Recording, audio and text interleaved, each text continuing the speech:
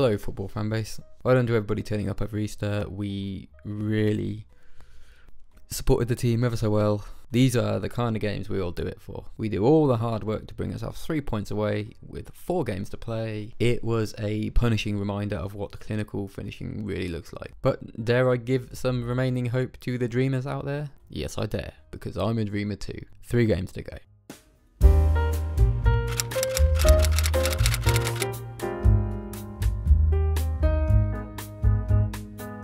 Welcome back.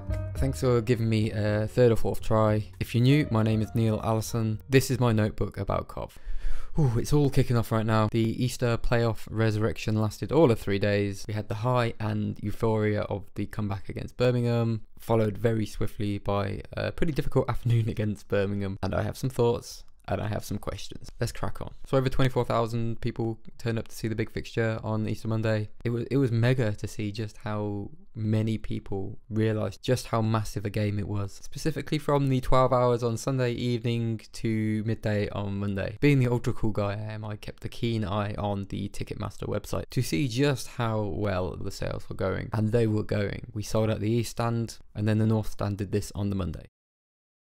Needless to say, I overshot the requirement to get there early by quite some order, but it filled up quickly and by kickoff, visually at least, it was kind of hard to understand how we were 8,000 away from capacity, as the only gap seemed to be over by the away fans. Kind of begs the question how we'll ever get to 32,000 again, but no point getting too excited about that. And my favourite moment of the day was in actual fact the removal of the Boyle Sports ad banner slash tarpaulin thing from each of the corners to be replaced by actual human being people. And yeah, I know it wasn't a proper comment on Boyle Sports as a company, but it was nice to see the prioritization for once. Seeing us all hyped up for a big match again did get me thinking. Personally, I've never had a problem with the Ricoh, both as a stadium and as an idea. Honestly, Highfield Road was great. It was fun, but it was also old and pretty small and don't say this too loudly, but it was starting to smell quite a bit of wheat. Obviously, the nostalgic part of me, that guy who pines for the Mega Drive and pops by Computer Exchange as a little treat, he loves thinking back to that era. But for new me, the Ricoh CBS, sorry, serves to represent the size of the club we are, or if you don't believe that yet, the size of the club that we should aspirationally look to be. After all the damage that the last 10 to 15 years have done up until the modern day, and how we've lost so many fans due to apathy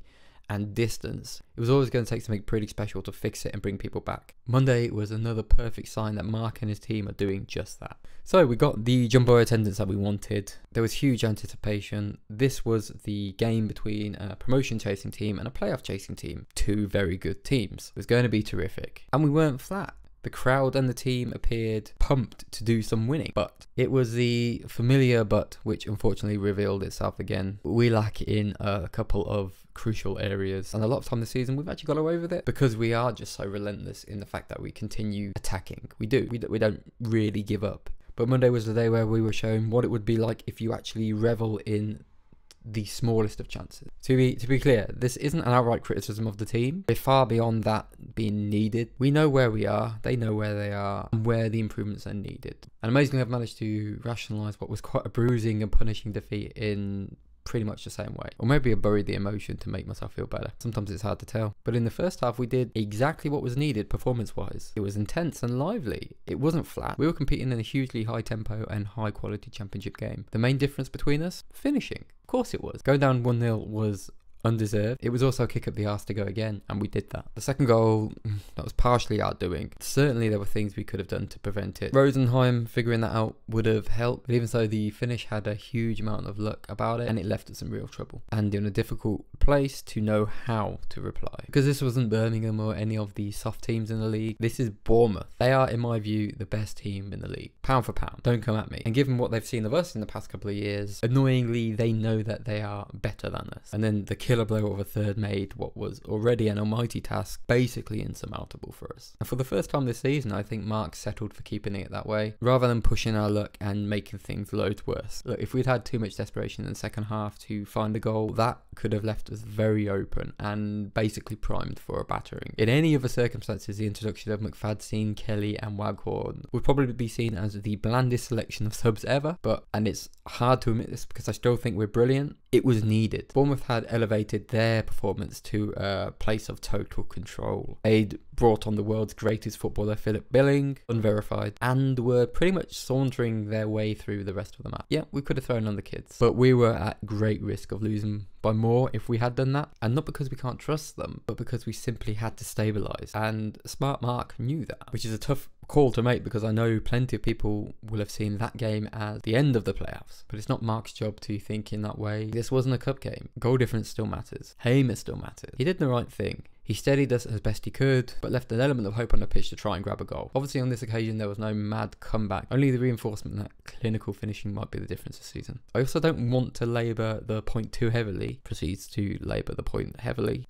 But we all know we should have scored more goals this season. And of course, that feeling of regret means that there's a strong chance it could cost us. And by cost us, I mean something that many of us would argue we deserve in a way. So excuse me for a second while I break out the PowerPoint and try to illustrate with some entertainment numbers, stats, just how creative to a point we've been this season. Also, just how we stack up against everybody else when we say, "Oh, we've missed plenty of chances and we've been wasteful." Sorry to Mark, by the way. This is, these are just numbers. I'm not slagging you off at all. So if you take a look, only Fulham have had more shots than we've had this season in open play. So let's think of those as opportunities that we've worked up ourselves to have a shot on goal. On the face of it, that's really impressive. But as we all know, there's more than one way you can look at that story, so you have to dig a little bit deeper for some additional context. For a start, all shots aren't made the same. Some shots are tame, some shots are wild. Some are from Todd Kane's left foot when he has absolutely no right to be shooting. Sorry, Todd Kane. So the XG for open play, aka expected goals, which I agree is an incredibly broad idea, and loads of you will think that as a stat is flimsy. But even so, for the purposes of this, it helps us understand whether we're just madly shooting every time we see the goal, or if we do actually create some good stuff. The number droids are up to back this up and say that our XG in open play is the fourth highest in the league, aka we create lots of highly scoreable chances. As you can see, Fulham and Bournemouth are way ahead on this measure, as you'd probably expect. Then there's uh, a jumble of other teams below that, and we're close to topping the pack of those, aka we're as good as anybody at creating chances in open play. Again, impressive. But then after those really impressive stats, then you move to look at actual open play goals. And we take a little bit more of a tumble down the rankings when you see those. So while we've still scored plenty and should be really pleased with that, and I am, it really does highlight the extra opportunity that's been there for us this year. Our quality of play has been so good that we've been able to create chances for ourselves as well as the very best in the league. But unfortunately, those impressive numbers don't ally to the end result. So if you just take a look at the versus XG column, aka what does our goal scored number look like compared to how many goals we should have been expected to score. When you look at that number, it really does validate the anecdotal evidence that we've all felt this year. We create, but we don't convert. Just for completion, let's extend that context a little bit more. You can think of this table as the unlucky group of teams, depending on how you want to interpret it, aka these are the teams in the league with the highest difference between expected goals and actual goals. There's no further context needed beyond that to kind of push the point any further. Over the course of the season, you can tell that these are the clubs that will look back and feel that they should have done more or feel that their results didn't quite match their performance levels. I know we have the tag as overachievers this season, and in the context of budget, there's no argument with that statement. We have no right doing what we're doing compared to others.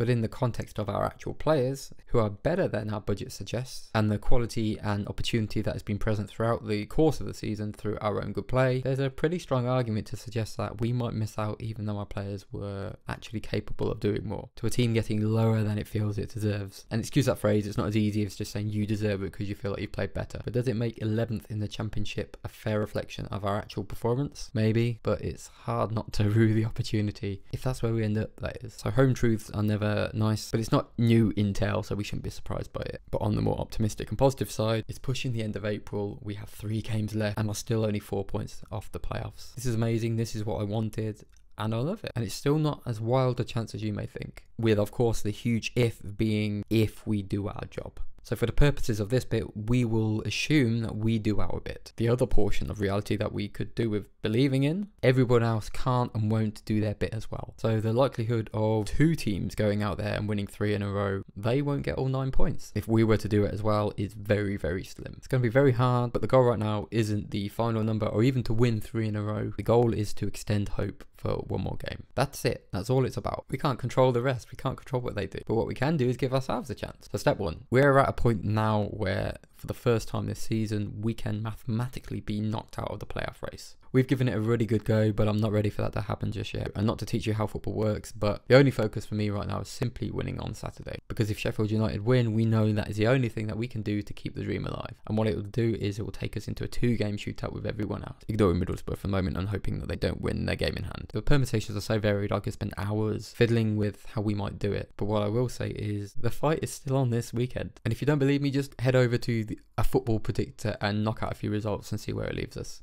I managed to get Blackpool into the playoffs when I did it last night. It's not going to happen, but if they still have a chance with the calculator, there's got to be a little more fight left in us too, with four points to pick up. Prediction at this point, I saw a Telegraph article saying 71 points. I'm thinking 69 71 is going to be the final number, which is really low, and which would probably make me feel worse if we don't make it. But I still prefer being here than not. So that's all the excitement that's going to happen this weekend. Uh, just to rattle off a few of the funnier things from the last week that have made me chuckle. Obviously, you've got the celebration of the decade from Callum O'Hare, who, if the man does nothing else in his career, he'll be able to dine off that moment for the rest of time. Great assist. Whoever loved the glasses had him, that is an assist and a half. Fair play. And for him for having the awareness and ego to actually put them on. Superb stuff, Callum. Absolutely love it. I also enjoyed Dom Hyam joining the growing headband gang that we've got going on. An inexplicable number of current COV players who have been left karate kidded during a match. Of course, I don't find the head bang funny, the thing that caused it, but pulling together a group photo was was indeed great fun. And was missing a few people. Jamie Adam get a smash on the head? I feel like he did, but I couldn't find a photo of him. And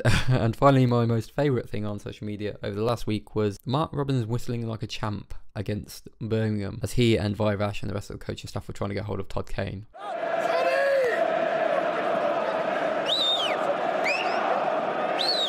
Typically, I took that too far and created the following. This way a tad.